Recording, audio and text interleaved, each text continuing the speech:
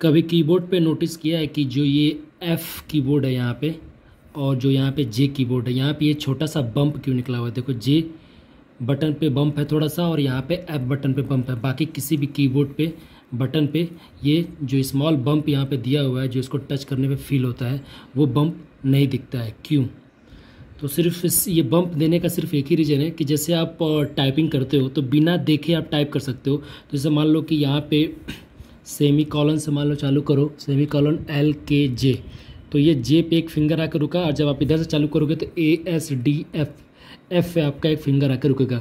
तो बिना देखे आप ये पता कर सकते हो करेक्ट क्योंकि my finger is on J और my finger is on F आप इसको फील करके इसको टच करने पे पता चल जाएगा कि मेरा फिंगर कहाँ पे है। तो जैसे आपको पता चला कि आपका फिंगर जे पे है तो आप उसके अगल बगल में एच यू एन दो बटन बाद क्या है जी है तो पता चल जाएगा। ठीक वैसे ही ऐप के पीछे क्या है, आगे क्या है, ऊपर क्या है, नीचे क्या है, वो पता चल जाता है बाई टचिंग दिस तो बिना देखे आपको टाइप करने में आसानी मिलती है।